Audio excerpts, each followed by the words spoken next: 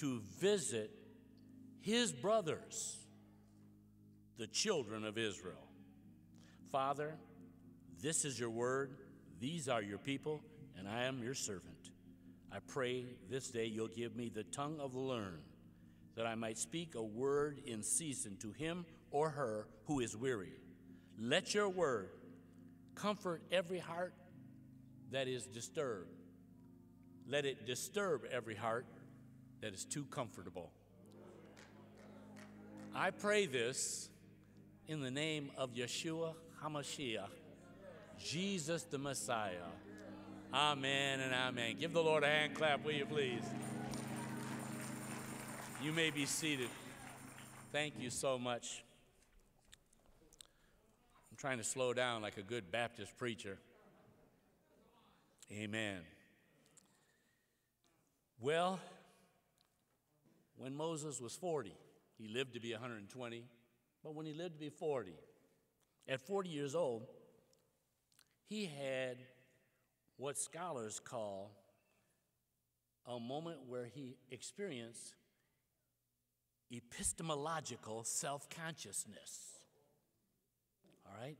Because he became woke. It came into his heart to visit his brothers. Now, he lived to be 120, but when he turned 40, it came into his heart. I would like to suggest this morning that day, Moses became woke. Now, the term woke, we gotta, we gotta deal with that. I don't mind. I'll never run for president of the United States. I've never been that kind of person. That was always, well, let's just say in my class reunion, they said my wife, the angel of the class, is dating the demon of the class. I've lived with that. Many that know me think that's still true. But the term woke, there was an incident in 1934 in Alabama where nine black boys got on a train, the boxcars in the train. There were two white girls in the same boxcars. Now, you know, back in that time with Jim Crowism, the last place that a brother wants to be caught is near looking at, blowing oxygen towards a white woman.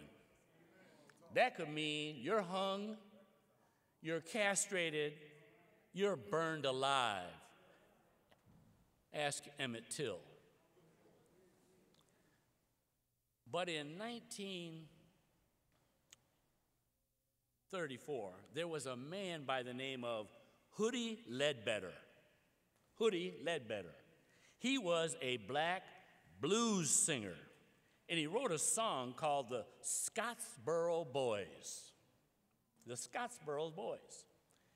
And at the end of that song, these are his words I advise everybody to be a little careful. Best stay woke and keep your eyes open. Now, he said that about being in Alabama with racism. And he knew what happened on that boxcar. He said, Y'all best stay woke and keep your eyes open. All right? Now, also, there was a Jamaican philosopher by the name of Marcus Garvey. Mm, y'all know about him. Marcus Garvey. Um, he was a Pan African. And when he used to preach in the United States, these are his words. He would say, Wake up, Ethiopia, talking to the black population of America. Wake up, Ethiopia. Wake up, African. Those are words way back then about staying awake, being woke. All right? Now, today, eight decades later from its use in history, the term woke has become weaponized in America. It, it, this is how language is repurposed for the advancement of whiteness. Because if you watch the news, which I do, and I watch the news and I, I call it speaking in tongues. I'm just not going to tell you this morning what tongues I speak in. But I did used to be a chaplain in the Federal Bureau of Prisons, so there's a special tongue there that you don't even use on Sunday morning in church. Now, W.E. Du Bois wrote a, he was the first PhD sociologist from Harvard. And he wrote a book called The Souls of Black Folks. We credit W. Du Bois, he was the first African born scholar that systematized the plight of black folks in America so that the intellectual whites could get an understanding. But I want you to see W. Du Bois had the same experience that Moses had in this respect. It, it, it, flows together. He said that black folks have a double consciousness because the term woke could also be the word consciousness. W. Du Bois said, Blacks in America have a double consciousness. What, well, a couple ways that I relate that. We are the people in America who we love America, but we hate what America did to us. Double consciousness.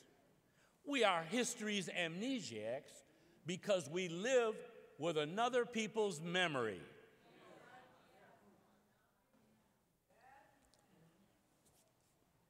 Black folks in America being woke means number one, the first time you woke up and discovered you were black. The second time you woke up is when you discover you're black. But that's a problem in America. I remember in my own life, in third grade, I went to all white schools. You're looking at a guy who who never had a black professor in his whole life up to this moment. When Bishop Bronner called me to say that he was two months ahead of me finishing his doctorate, he called me to stick it in me. I said, that, That's all right. But you know, all my professors, even in seminary, were white. And I wrote on the subject, my dissertation was The Good News for Racism. You can't believe the hard time they gave me in my defense. It usually takes about 20, 25 minutes to defend. I was in there an hour and a half. Lord Jesus. Now, in Ephesians chapter 4, because I know we're in church now, so when black folks use the term woke, we do it in this context of you discovered. So at thir- I'll go back to this, I'm sorry. Third grade, I'm sitting in a class, all the students are white except me.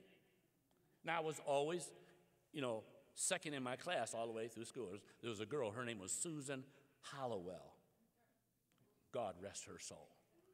Anyhow, she just always got one point higher than me every year. I don't know if they were just favoring her or what.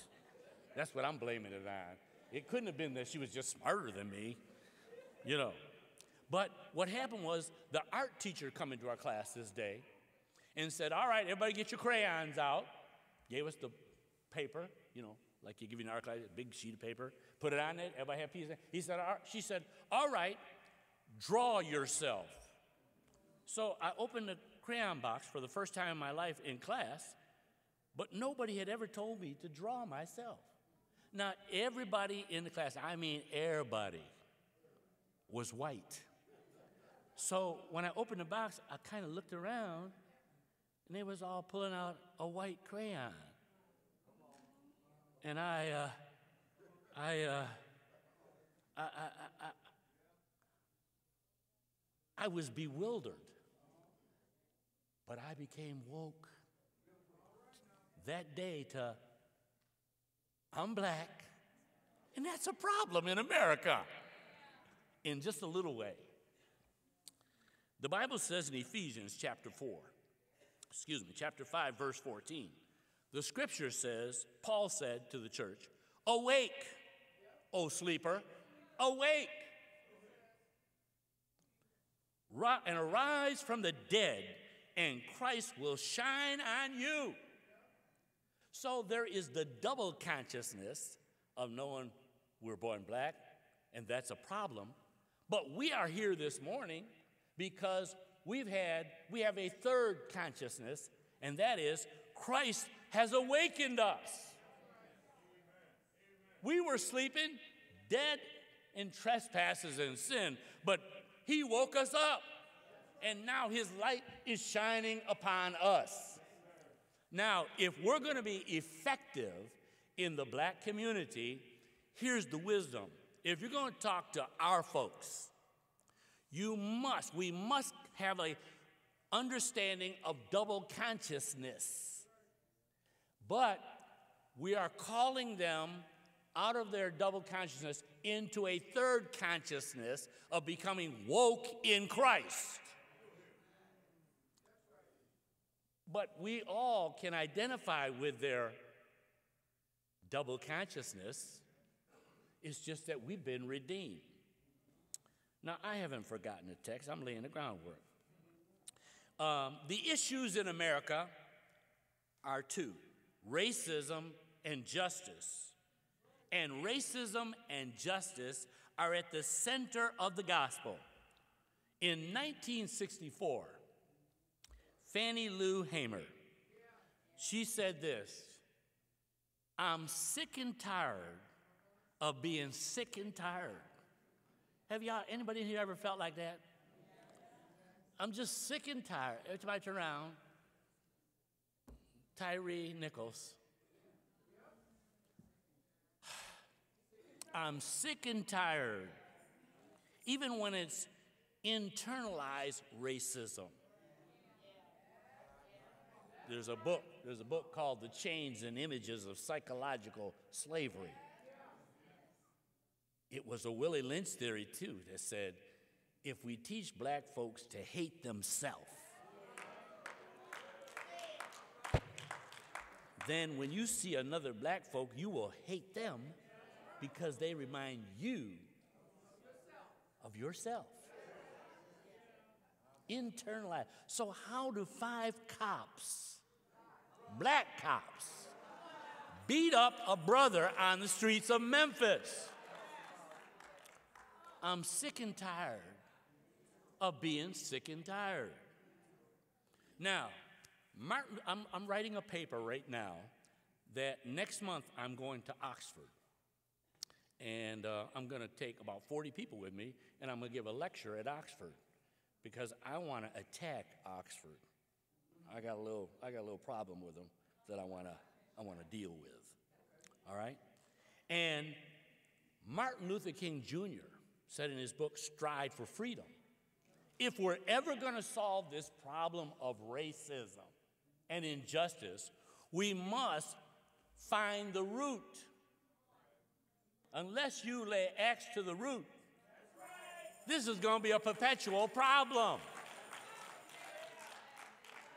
And I do believe I have discovered, and that's what I'm writing on to deliver at Oxford. Now, let me give you this a little, little, little Reader's Digest version of what racism and justice the center of the gospel. See, one author said to get to the root of racism, we have to learn is tr- trace the genealogy of the lie. To get to the root, you must trace the genealogy of the lie. What is the theological lie that we're faced with? If I were to just jump right at it quickly, and then I'll tell you the book you can read if you're interested. Um, because during the pandemic, for two years, I don't know what the Lord told you, but He gave me 50 books to read, and I read them. That's what I did during the past. Stayed in my house, walked my wife around the golf course, back to the house, sit at my desk, read 50 books, and gave 15 pounds. All right, here, here's, the, here's the genealogical lie it's called the Enlightenment. The Enlightenment touched countries like Germany, France, and England. And in Europe, the Enlightenment took over, it was the age of reasoning, but it was also John Calvin, the French theologian, who developed the doctrine of election. Now, that's not a bad doctrine all by itself, because I went to Reformed Theological Cemetery, I mean, seminary. Did I say that? I was raised Church of God in Christ. I slipped up in, I slipped. Anyhow, but anyhow, here's what happened. They took Reformed theology, and this has been when they all came to America from Europe, they came with this understanding of election. God has, through the Enlightenment, whites are God's elect. Whites are God's elect. And blacks and Native American Indians are God's non elect.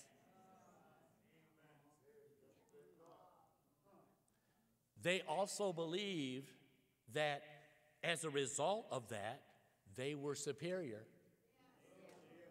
at the, at the top of the racial hierarchy, and blacks were inferior.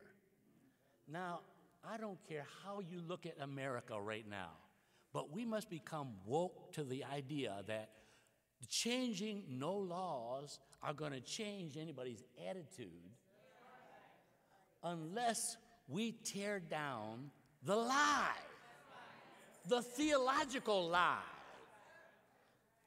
You know when they in movies where they wear them white wigs in court? You know what that means? They're the, we're, we're the most intelligent people, and we, through reasoning, can help everybody else. The doctrine of discovery said that we we're the ones, and we need to go. They didn't say go spread the gospel. They said no, conquer, take dominion.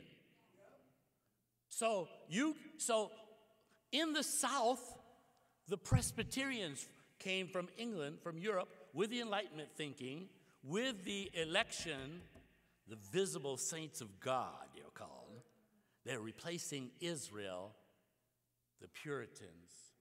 But in the South, there is what's called the religion of the lost cause. Because they lost the Civil War, right? But they said this this is what the people in the South said. Just like they stoned Moses, but he rose from being stoned. And then they crucified Jesus, but he rose from the dead. And even though we lost the Civil War, the South shall rise again. Because they believed Noah was the patron saint of plantation life, and that they were superior who were to give oversight to black folks. It was a paternalistic kind of attitude. Those poor boys and girls, they don't know any better. So black folks need somebody to help them. That's white folks. Now, that was in the South, but in the North, it was the Puritans who believed that God had made them the elect, and by double predestination, they believed some people, white, the visible saints, were predestined to heaven and blacks were predestined to hell. So if they're going to hell anyhow, why in the world do you want to give them property? Why do you want. They're just going to hell. They did the same thing in South Africa. You know what Bishop Desmond Tutu said? He said, when it comes to being woke, he said, some people won't wake up, but they're only pretending to sleep.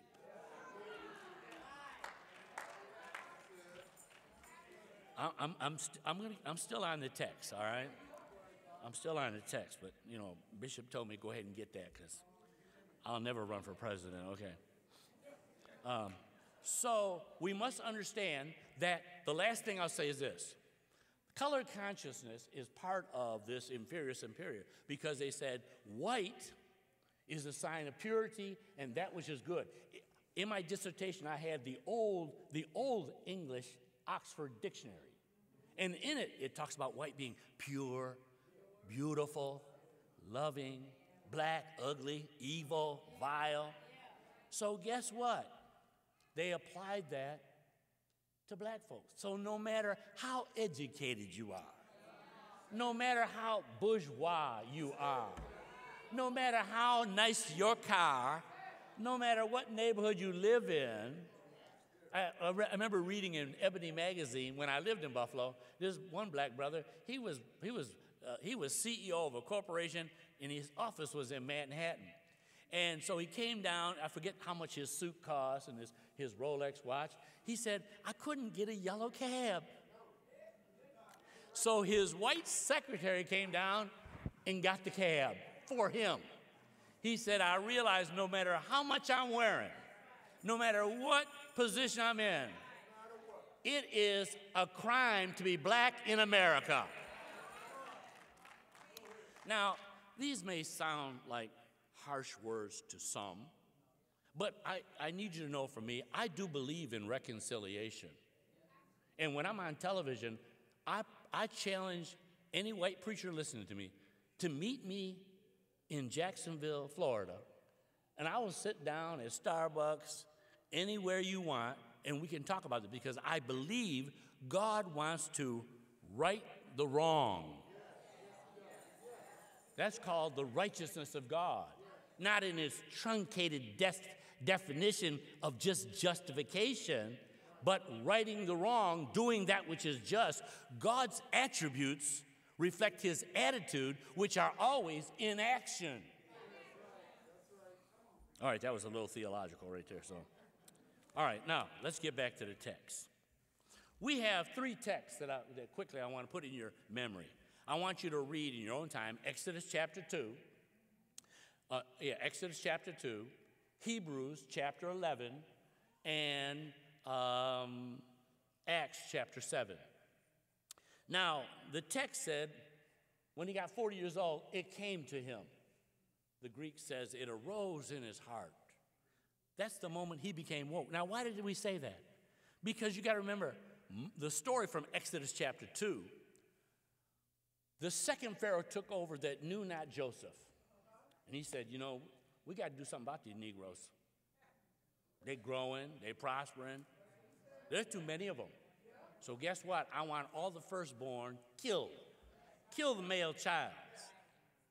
Now, what I don't have time for my sisters in the uh, cadre of clergy here to bring out is when you look at the story of Moses, the thing that is looked over so many times, do you know how many women paid, played a major role in preserving that boy's life to become the deliverer of Israel from Egypt?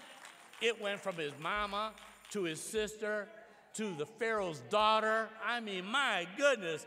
I mean, God used women to watch out for that boy.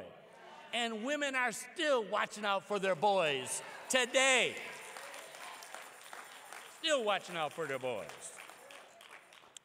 So, the Bible says in Acts 7:22 that Moses as a young man when he went through all he went through, he ended up the Pharaoh's daughter saw the boy.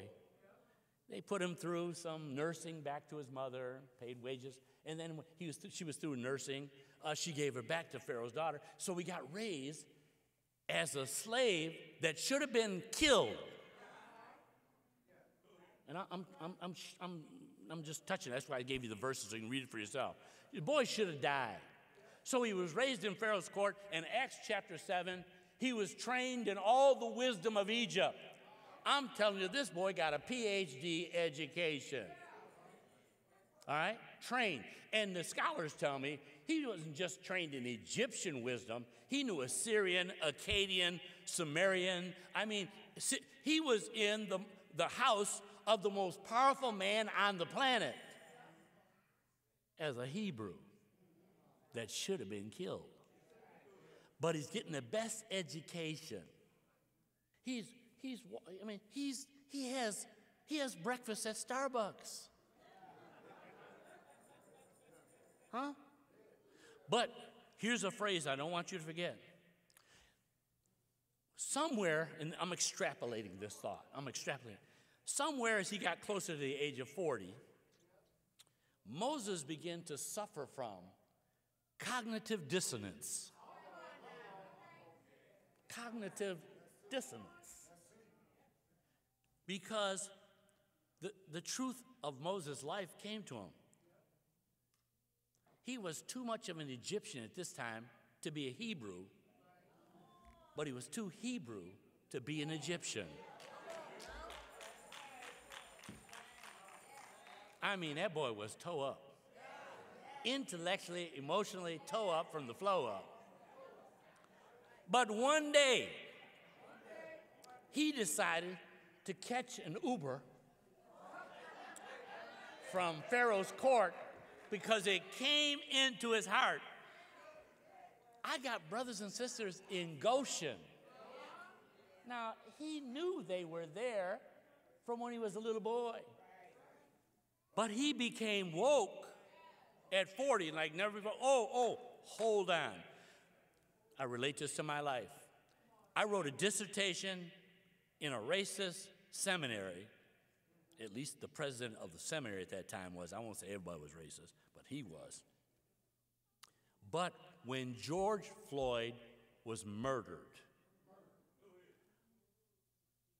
you saw all the young people out protesting. It was the first protest on racism that wasn't birthed in the black church. These young people did it all themselves, and a lot of them wasn't even saved, but they became woke to our plight. Now, how are they woke and the church is not woke?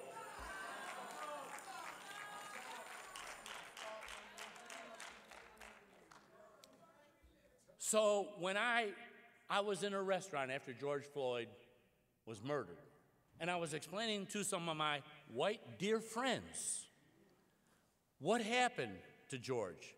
But in that restaurant that day, as I was going through the story with them, all of a sudden I broke out and cried like a baby in the restaurant. And I remember I put my head down, I was just sobbing, weeping and they, they're sitting there at the table, and I'm just weeping. I just can't. They, I, that boy cried, called for his mother. Lord Jesus.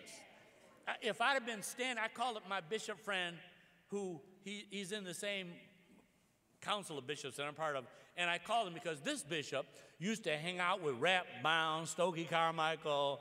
He, he, he was a bad brother and I called him. I said, Bishop. He said, Don't tell me. I said, It's a good thing we weren't standing on that corner that day because they would have had to shoot and kill us because that cop would have taken his knee off his neck. Ain't no way I'm going to stand there and watch that. We would have died that day. Now, when I sat up in this restaurant with people and I'm crying, and my wife will tell you, when I cry, I cry loud. Ah. Ah. I do. I, I, I don't cry often in life. I was married 10 years before my wife ever saw me cry. So I don't cry often, but when I do cry, I go there. I get real ugly, right? But when I sat up, I wiped my eyes, I sat up, and I sat up with this attitude I'm totally woke. I don't care from this day forward if white folks don't understand racism, they don't understand it, I can lose all my friends. But I I'm going down to Goshen. I'm going to catch me a ride down to Goshen. Moses made a judicial visitation. A judicial visitation because he that he went down there thinking, I got to do something about this place. But for 40 years, he's like, oh man, I'm living large, you know, I'm living large. You know, I'm just living large, things are going well, you know. But it came to him. And I believe that was God's sovereignty. I believe the sovereignty of God watched over all those women who kept him alive for this calling. How, how much has God kept you alive for your calling? To be woke. to racism and injustice in America because if we don't wake up, there's nobody else to wake up. Let me go on.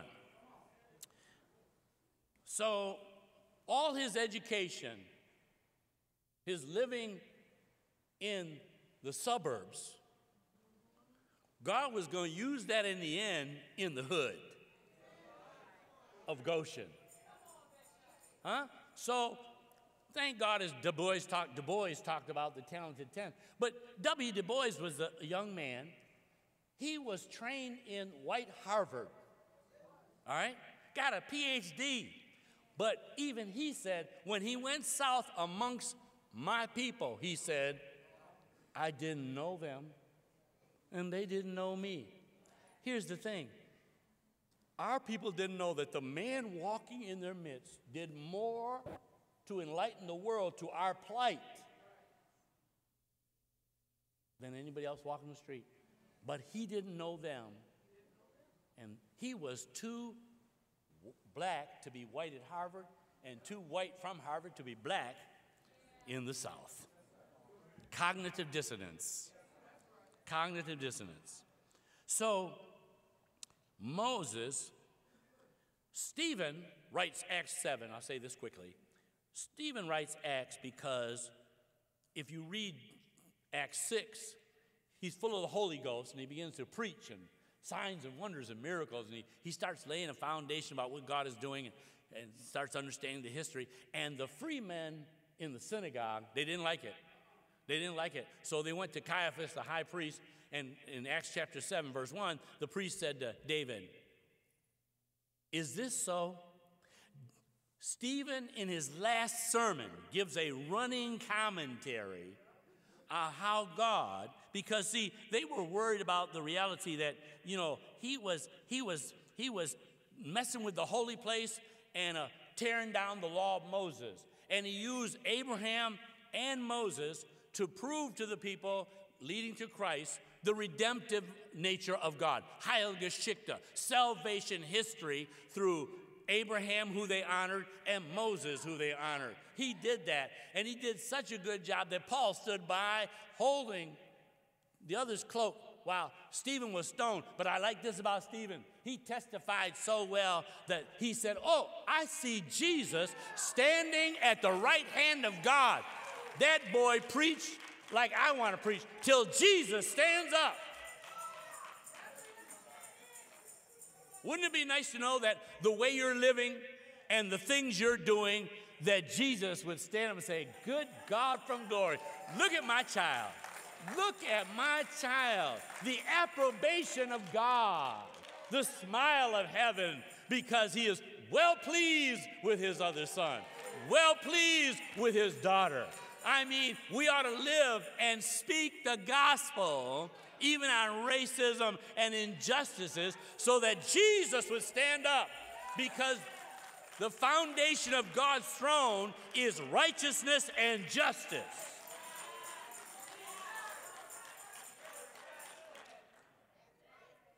Uh huh. Now, I know this is a Baptist church. I should say Baptist Costal right? I really don't care what denomination I'm in. I'm here to speak and I'm going to do that, right? Thank God for Bishop Troy. So, every male child is supposed to kill, be killed, right? But one day, it says that Moses he wanted to make his judicial review. He saw an Egyptian mistreating his Hebrew brother. So with no remorse in the text, he put, boom, he kills the Egyptian, right? Because he was already sensing the call of God on him. That's what the judicial review is about. Mistreat my brother? I, God wants me to do something about this. Right? He kills him. Then the next day, he runs back to the hood, and two brothers are on a street corner arguing with each other. One getting ready to do a drive-by shooting on the other. He said, hey, hey, hey, don't do that. They're like, oh, oh, oh. So who, who died and made you boss? You gonna do to me what you did to the Egyptian? And then Moses realized that Pharaoh knew. Now, the text says he feared and he ran. You know, sometimes we can get ahead of, we get little inklings of what God wants us to do. But in the end, I want to tell you how, how do you make sure that you're doing what God wants you to do? That really is an important point. Now, so in Hebrews chapter 11, let's go there and let me wrap this up. Hebrews chapter 11, we talked about Stephen, he getting killed. But in Hebrews text, this pericope, talk in chapter 10, the, the Messianic Jews, they're being so persecuted by the Judaizers that they're beginning to think about going back to Judaism just to get that monkey off their back. But the writer of Hebrews says, God will take no pleasure in you withdrawing. Then in Hebrews 11 and 1, it says, Now faith. Now, I've heard some of my brothers and sisters talk about now faith. That's not later, that's now. But now is a conjunction in the Greek. De. It's not noon, noon, which is dealing with time, but it's de, which is a conjunction. It's like Hebrews chapter 10, all they're trying to withdraw, he stops and said, Hold up. Therefore, you need to look at Moses because Moses, so chapter 11 is all about by faith, this one did that. By faith, this one did that. By faith, they didn't withdraw from their faith. By faith, they kept pressing in. And when he gets to Moses, he says, even though Moses, verse 23, he was born in Egypt. By faith, Moses, when he was born, was hidden for three months by his parents because they saw that the child was beautiful. In other words, they saw the glory of God on him, the translucent glory of Almighty God. And they were, and it says, he was beautiful. And they were not afraid of the king's edict, which was kill all them boys. Kill them all. By faith, those women kept Moses alive. By faith, his mama. By faith, his sister. By faith, Pharaoh's daughter kept that child alive because the will of God won't lead you where the grace of God won't keep you. The will of God won't lead you where the grace of God won't keep you. And when it is time for you to check out, who wouldn't rather be with Jesus than be here on earth with the devil? Mm hmm. All right, it got quiet.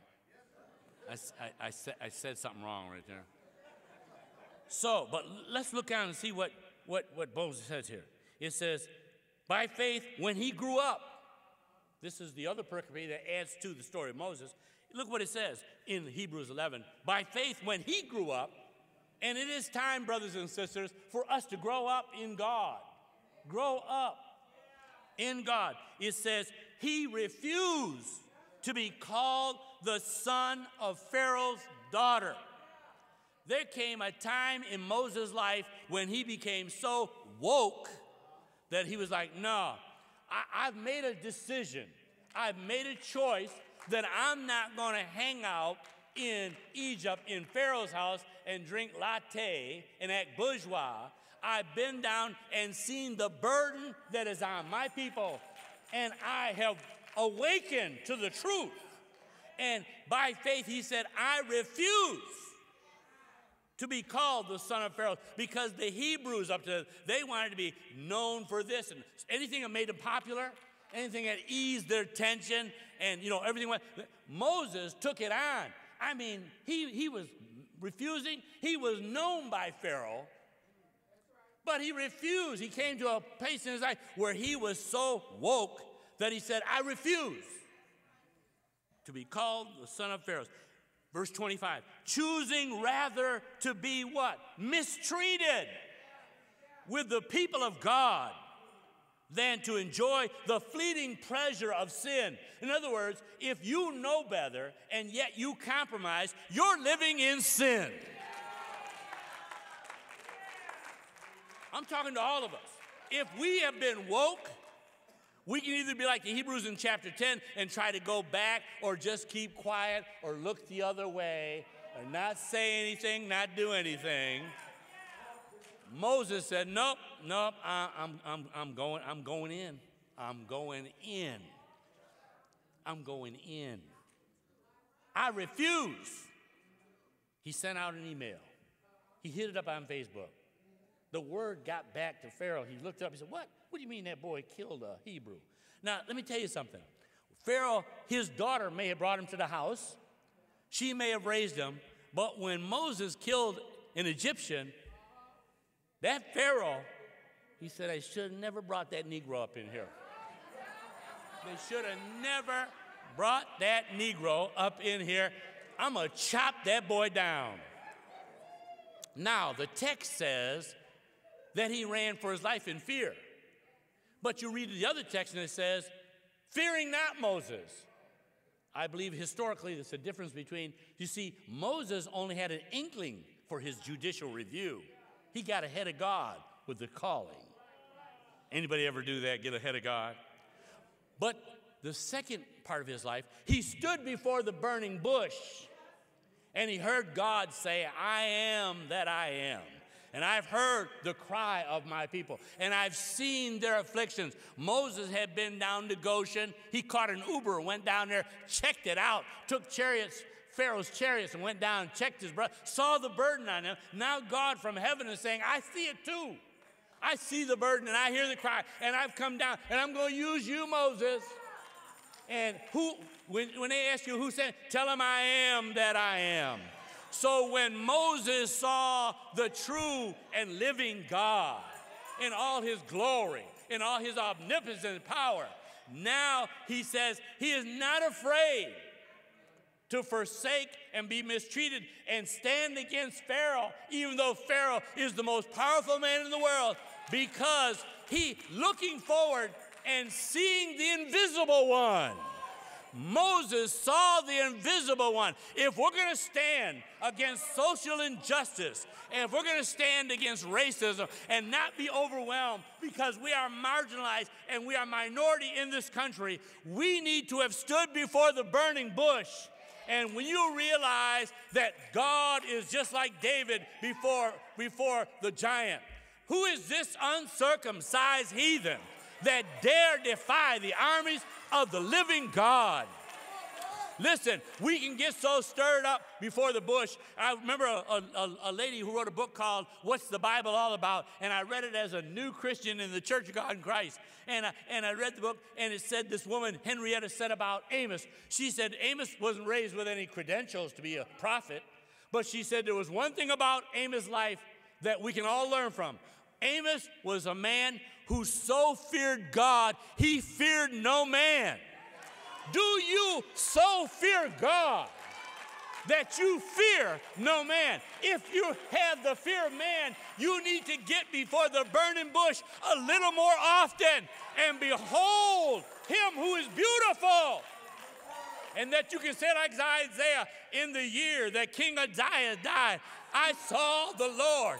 He was high and lifted up, and his train filled the temple.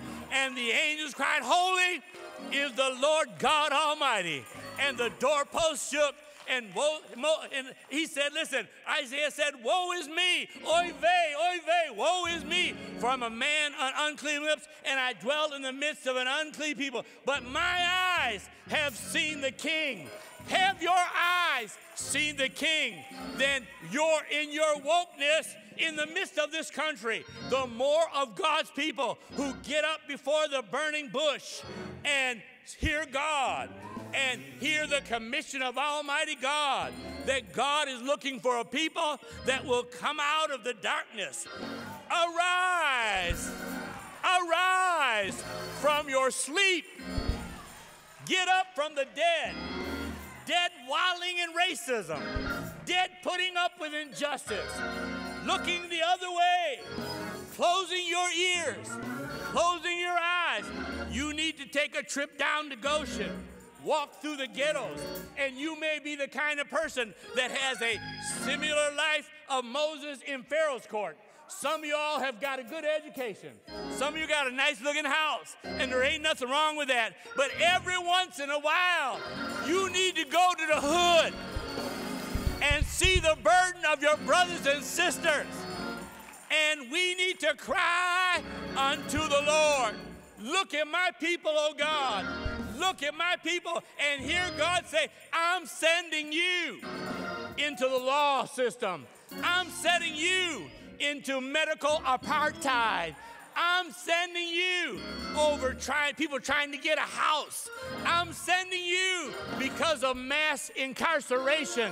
I'm sending you to deal with the execution, death penalty in innocent brothers and sisters' life. I'm sending you to ride on the slave patrol to our daughters and sons that you can deliver them from police brutality. I'm sending you into a theological arena of institutions and seminaries and universities that are following the elect and non elect that think that God has called them above. They are the visible saints of God, and they've been lying about Jesus and the gospel. And I'm sending you to come out of your white spaces as Carter G. Woodson said, the miseducation of the Negro. I was listening to a bishop the other day, and he said, You know, uh, I, I, wasn't woke.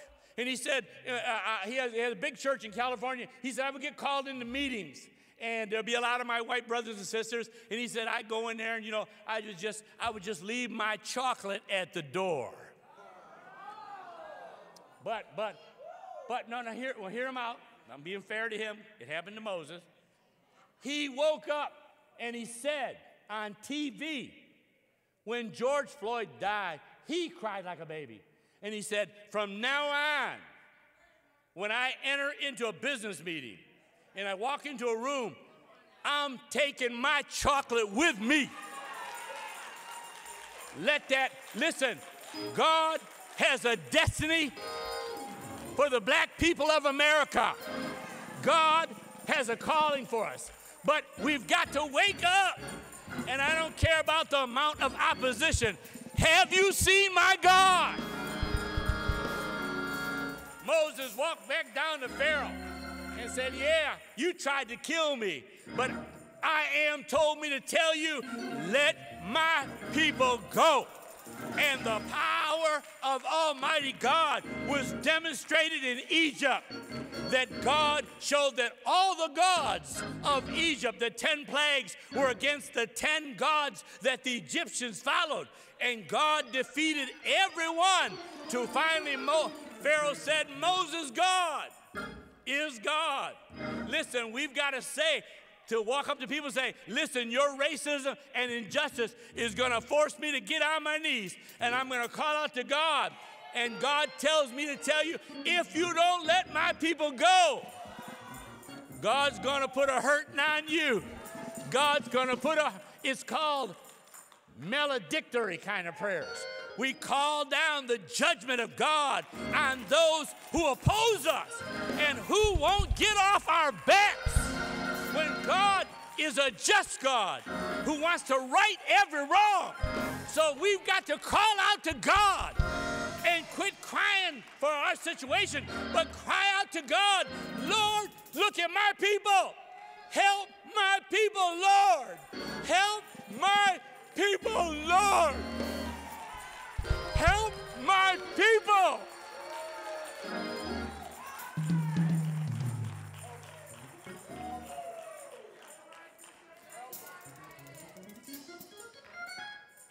I close with this. It's time to be woke. Ephesians 5:14 For anything that becomes visible is light. Therefore it says, "Awake, O sleeper, and arise from the dead, and Christ will shine on you." What does it mean to be woke? If you're woke, you'll know it by four things. Are you aware of what's going on? Are you aware of what's going on? Number two, do you acknowledge what's going on? Number three, are you accountable for what you're aware of and acknowledge?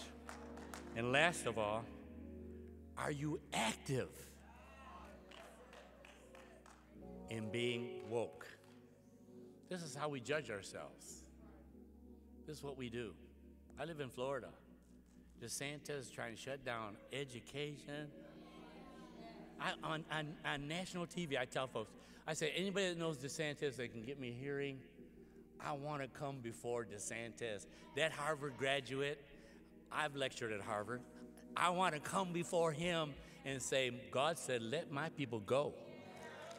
You, because the beautiful thing for me is that even though all my teachers were white, all my students were white, here's the one thing I gained from it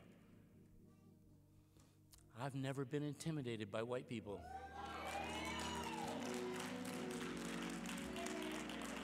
Never. Never. I don't have a, I tell them, listen, if you're nervous, send me. Send me, because I will speak it. I will say it. Oh, yeah, I'll look him right in the face. Here it is. Yeah. So God can take advantage of all of our backgrounds and the good things that have happened to use for the sake of our people. Would you stand with me? There may be some here today. You've never committed your life to Christ. But the verse says, Arise from the dead. Awake, sleeper. Arise from the dead, and Christ will shine on you. He'll give you life. You may be suffering from cognitive dissonance. You may be floundering in the quicksands of an existential mood. You may be lost in the darkness. But today, the Lord says, Arise, sleeper, and let Christ shine on you. If you commit your life to Christ, it's just not from personal redemption, but it's a redemption from sin imposed oppression from oppressors what God is going to use, and I close with this. Here's what I think God's going to do. I told you I was going to Oxford. Well, what we're going to initiate is we are going after all seminary educational institutes and anyone that espouses parts of the Enlightenment and the elect that sees us at the bottom, we are going to expose that lie. We're going to expose that lie because that lie, that lie has got to die. And they're not going to kill it. Now, there are some whites who will be our allies, and I thank God for them. But I ain't waiting for them. When I go to Oxford, the Enlightenment came from Oxford. When I get into Manchester, Harriet Hall, where I'll be and they're going to televise and film the whole event, I'm going to get dead in their business. They don't ever have to get me back. They don't have to have me back. I don't need anything from there. Now, I am going to get a hoodie, an Oxford hoodie. So if the cops pull me over, I got an Oxford hoodie.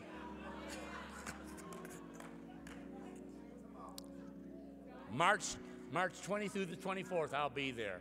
And I'm taking 40 people with me, some brothers and sisters who can fire. I mean, these are PhD academics. I wanted Bishop Troy to be there. That brother can fire. Lord have mercy. He's my favorite preacher. I know he's on sabbatical. Anyhow, God's going to help us if you haven't committed your life to Christ, I'm going to pray for you, and maybe the other pastors will take care of it. But for you Christians, I pray that you will recognize it's time to be woke. Our nation is at a crossroad. It's time. Oh, you got to listen to the Republicans and Democrats, what's all going on. Where is the church? We've got the only voice that has a solution. We're supposed to be the baddest folks on the planet. I'm tired of them thinking that, well, if you're Muslim, we're scared of the Muslim. I, you know, come on. We're the ones. Martin and Malcolm had a discussion about disagreeing over strategies. finally, Malcolm looked at Martin and said, Well, you know, Martin, we're both glorious old fools. Because guess what? Because of what we speak, truth to power, you know, we're both dead men. Stephen died for his testimony. You shall receive power, dunamis, after the Holy, that you will be my witnesses. The word witness is the Greek word martyr. If I have to die for the will of God, I want to die fulfilling the will of God. I don't want to die on the back porch drinking Kool Aid.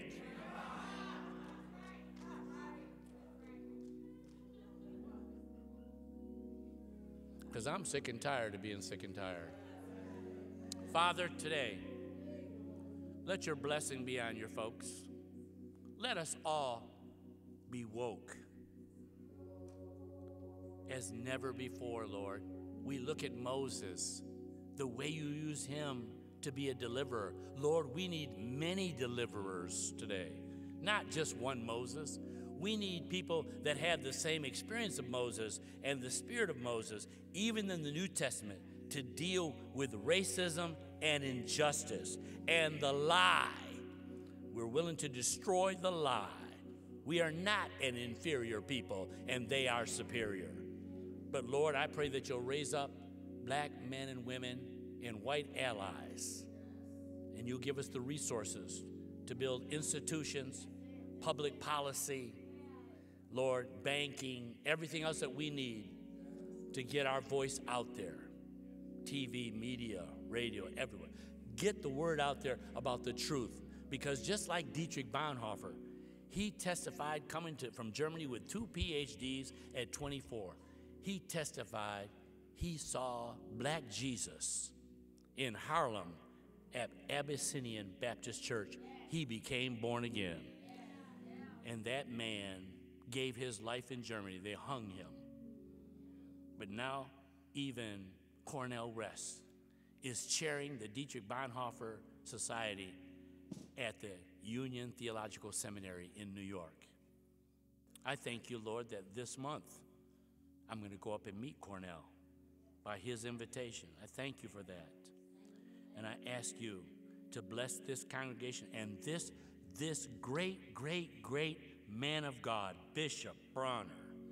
I just pray, Lord, we so need him. We so need him, his voice. We need him.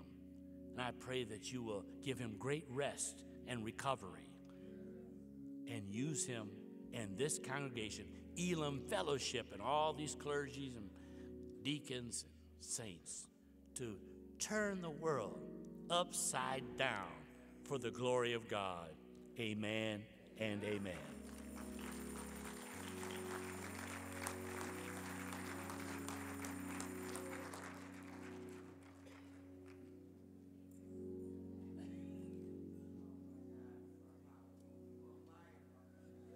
Come on, let the church say amen. Give it up for Bishop Van Gayton. What a word. Did he bless us this morning? Come on, put your hands together for that word. Awesome word. Kicking off our Black History Month. Thank you so much, Bishop. Thank you so much. The man of God already gave the invitation. So if you're here today and you've never said yes to Jesus Christ, before you leave, before you leave, before you leave, you're here, just slip their hand up and we want to pray with you. Just slip your hand up. You've never said yes to Jesus Christ. We want to offer you this wonderful gift of salvation. Just take a step of faith and come forward if your hand is up and you want to receive Christ as your Lord and Savior. I see one coming. Amen. Amen. Amen.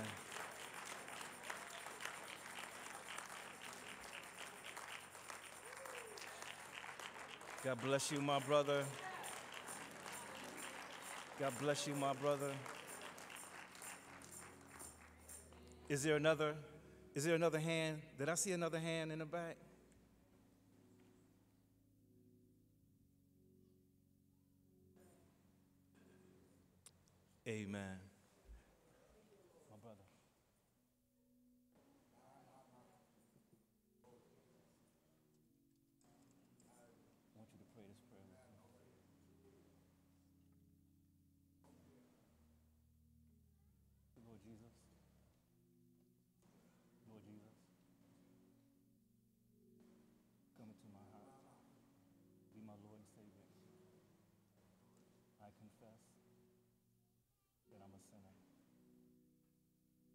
Receive you into my heart.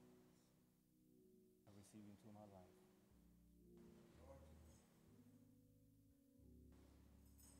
In Jesus' name, I pray.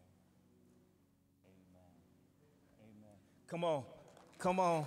Give it up for our brother who just gave his life to the Lord Jesus. Amen. Amen. Amen. You can take them in the back. Certainly, we were blessed by that word today. Bishop, thank you so much. Thank you so much for helping us to get woke. It's time, my brothers and sisters. Amen. Amen. Amen. And these are they who came to turn the world upside down. God bless you. God bless you. If you um miss communion this morning, we're going to ask that you